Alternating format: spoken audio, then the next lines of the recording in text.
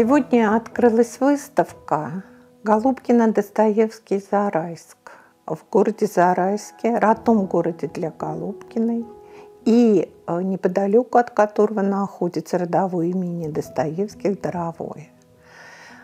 Жили эти люди просто в разное время, для русской истории даже в разную эпоху.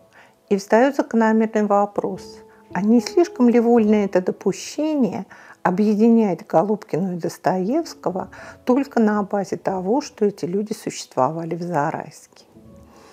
На самом деле Зарайск – это такая своеобразная точка отсчета в том смысле, что русская культура охватывает огромные пространства нашей страны, в том числе и небольшие города, и для нее нет препятствий и границ.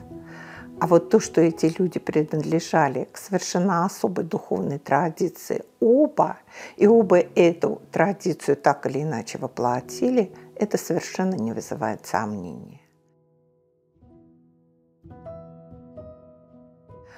А, впервые сопоставил Голубкину и Достоевского Максимилиан Волошин в своей первой программной статье, опубликованной в шестом номере журнала «Аполлон» 1911 года. Именно там он впервые заявляет о том, что Голубкина является собой глубоко русский талант, сопоставимый масштабом с Толстым и Достоевским. Было ли это вольным допущением мастера?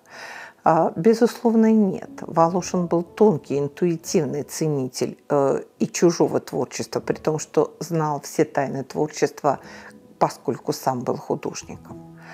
Если он так сказал, за этим, наверное, стояло многое. Конечно, научных исследований на эту тему он не проводил, но какое-то внутреннее, глубокое, интуитивное убеждение на этот счет у Волошина существовало. Попробуем разобраться в этом вопросе. Действительно ли этот пласт, единый пласт гениального Достоевского и гениальной Голубкиной существует? Можно смело сказать, на сегодняшний день это совершенно очевидный факт. Конечно, многие люди спрашивают, а как относилась Голубкина к Достоевскому? А видела ли Голубкина Достоевского? А воплощала ли она образы Достоевского? Но это только поверхностные вопросы. Досконально по ним у нас аргументированных ответов не существует. Но существует иной, более глубокий и более обширный пласт культуры, который реально объединяет столь разных людей. А, Федора Михайловича Достоевского, происходившего из хозяйства поместья, и Голубкину, крестьянку, как она сама о себе говорила – Начнем, конечно, с того, что Голубкина происходила из старообрядческой семьи. И, скорее всего, Федосеевского согласия, а именно странноприимцев или странников, людей, которые осуществляли связь между собой, а, стараясь минимально входить в контакт с официальными властями. Недаром ее родители держали постоялый двор, и это был верный признак принадлежности к этому согласию. Одновременно с этим необходимо сказать, что Федор Михайлович Достоевский на протяжении всей своей жизни проявлял большое внимание к позиции староверов, к их истолкованию многих нравственных вопросов, хотя были какие-то стороны этого учения, которые он внутренне не принимал. Прежде всего следует начать с того, что семья Федора Михайловича Достоевского, а именно судьба его отца Михаила Андреевича, во многом была обязана успешности московской карьеры контактом с известным старовером, благотворителем Ковылиным контакт с этим человеком а, позволил получить протекцию Михаилу Андреевичу и поступить на службу а, в хорошее, престижное, серьезное место. И о том, что роль этого благотворителя и э, при этом очень четко придерживавшаяся э, староверческих взглядов человека была в этой семье велика. Об этом говорит тот факт, что Федор Михайлович Достоевский, посещая Москву, непременно посещал могилу Ковылина на Преображенском кладбище.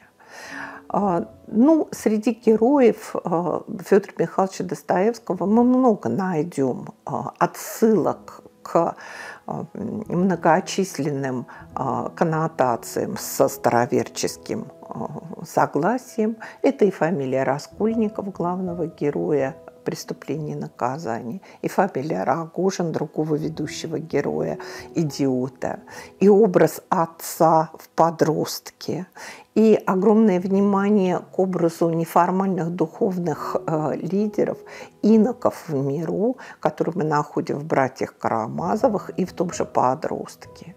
Очень серьезные заметки мы находим по этому вопросу и в дневнике писателя – Федор Михайлович Достоевский с особой любовью описывает образ старообрядца, когда он находился в ссылке в Омске, видя в нем совершенно особые нравственные качества, а, любовь к жизни, любовь к родине – и здесь невольно мы вспоминаем о том, что Голубкина есть глубоко русский талант. Вот это внимание к почвенническим основам староверия было одним из главных стимулов интереса э, Достоевского к староверию. При этом, если мы обратимся к каким-то формальным признакам староверия, э, то Достоевский их редко принимал. Он не любил э, сложных богословских споров, зато четко стоял на позиции одних из ведущих теоретиков старообрядчества, например, Павла э, Прусского и Голубова, которые, собственно говоря, в своих трудах старались придерживаться простого, естественного русского языка.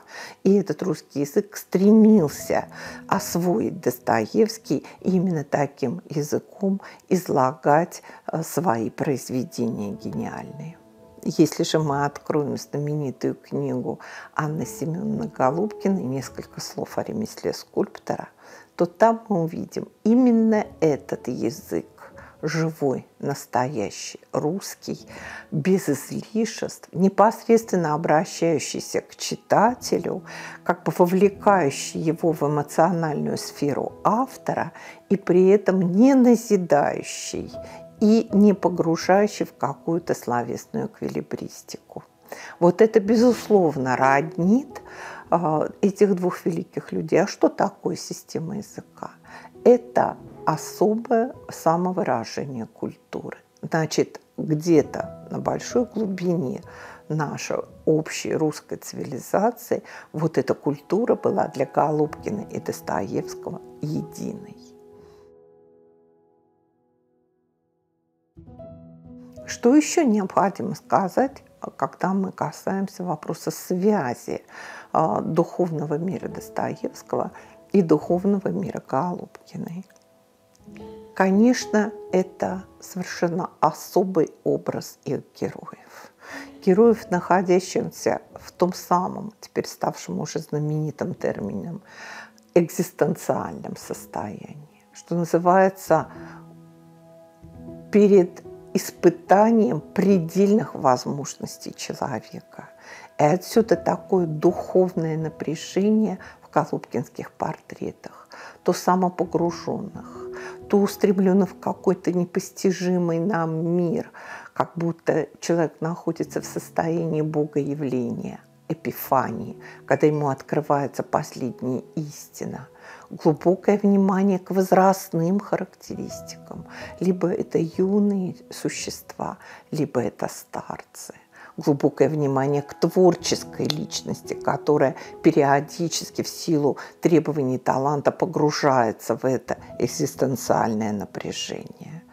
И это есть и в портрете Андрея Белого, и в портрете Черткова, и в портрете Нины, которую Голубкина желала запечатлеть, пока, как она говорила, в ее лице есть след тех страданий, которые она, как сестра милосердия, увидела на русско-японской войне. Вот эти страдания, глубоко изменившие внутренний мир молодой женщины, она и хотела передать. И если мы сравним это с духовным состоянием героев Достоевского, мы здесь, безусловно, увидим очень сильные общие корни. Корни предельного напряжения, поиска истины, открытия этой истины для себя, истины, открывающейся через вот это предельное состояние.